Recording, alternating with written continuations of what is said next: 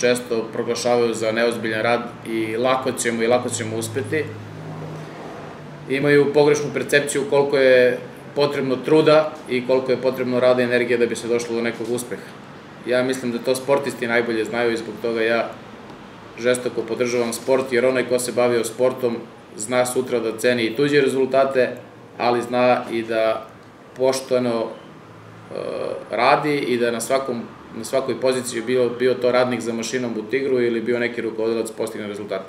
Tako sam se ja trudio da ovih 10, 12, 13, evo već 14. godinu radim pošteno, radim e, naporno i da e, se polako slažu te kockice uspeha. I zaista je tako, mislim da je Pirot e, visoko cenjen grad trenutno u Srbiji i po postignutim rezultatima i po dešavanjima koje se dešavaju ovde u gradu i po mnogim po mnogim mnogobrojnim učešćima u forumima, seminarima, upravnim odborima, nekih tela koje, do kojih nije tako lako doći. Sa druge strane, mislim da su se i kockice malo složile, ne treba biti ni prepotentan da kažemo da je sve zavisilo od nas. Kad kažem e, da su se složile kockice, mislim na to da je ipak Mišelin odlučio ovde da pravi fabriku, iako je nekog malog udela bilo i našeg, ali odlučio da pravi veliku fabriku.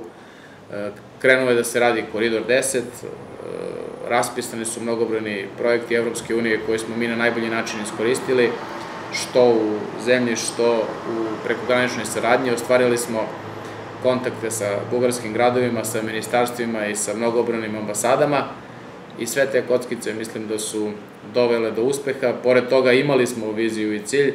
Vi se sećate na jednom od prošlih izbora kada sam rekao da ćemo graditi bazen, da su se mnogi smejali, kada sam pričao da ćemo rekonstruisati industrijsku zonu, pričali su, odnosno Nikole Pašića ulicu, pričali su da se asfalt ne jede, a to je omogućilo ne samo da industrijska zona zaživi, nego pogledajte ulicu Nikole Pašića i setite se koliko je ona bila mračna, a sada koliko ima lokala.